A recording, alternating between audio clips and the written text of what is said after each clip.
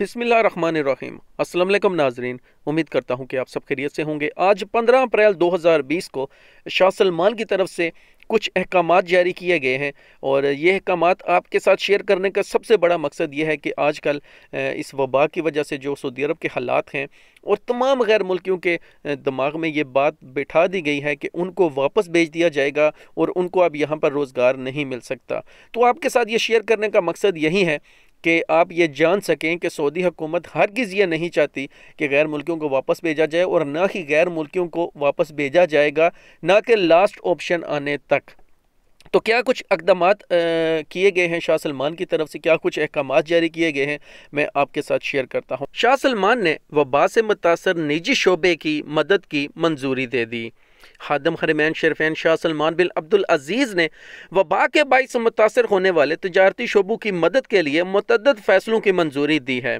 سعودی press agency کے مطابق وزیر خزانہ محمد بن عبداللہ نے وبا کے باعث متاثر ہونے والے شعبوں کی مدد پر شاہ سلمان کا شکریہ ادا کرتے ہوئے کہا ہے کہ وبا بحران کے باعث زیادہ متاثر ہونے والے نجی شعبوں کی مدد کے لیے مزید امدادی اقدامات کی منظوری سے ملک کی مجموعی معیشت کو تقویت ملے گی۔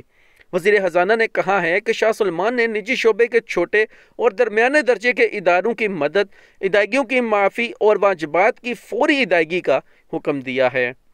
انہوں نے کہا ہے کہ شاہ سلمان نے اس حوالے سے پانچ اہم فیصلے کیے ہیں جن سے نجی شعبے کے متاثر اداروں کی مدد ہوگی۔ انہوں نے کہا ہے کہ شاہ ہدایت کے مطابق نجی شعبے کی ان کمپنیوں کے واجبات ادا کرنے کے لیے پچاس ارب ریال فنڈ مختص کیا ہے۔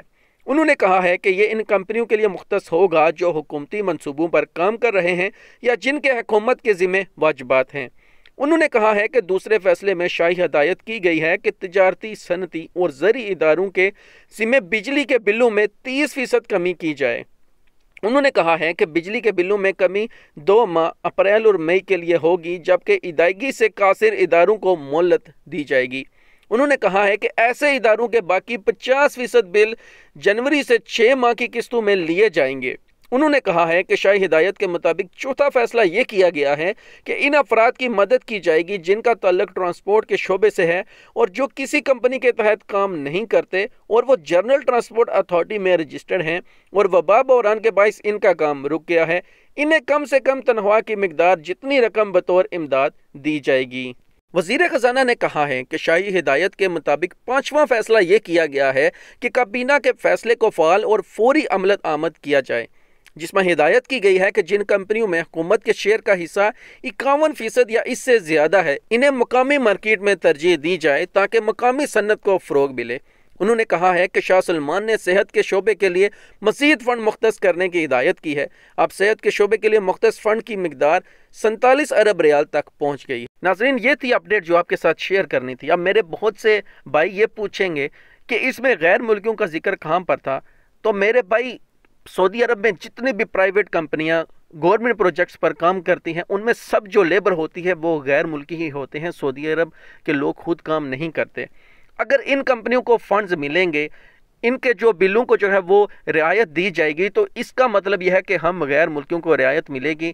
ہمیں ان فنڈ سے فائدہ ہوگا، ہمیں سیلری ملے گی۔ اور اس مشکل وقت میں ہماری کمپنیاں یہ نہیں کہہ سکیں گی کہ ہمارے پاس فنڈ نہیں ہے۔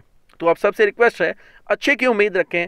پانچ وقت کی نماز پڑھیں اور استغفار کا ورد زیادہ کریں۔ ملتے ہیں نیکسٹ ویڈیو میں۔ اللہ حافظ۔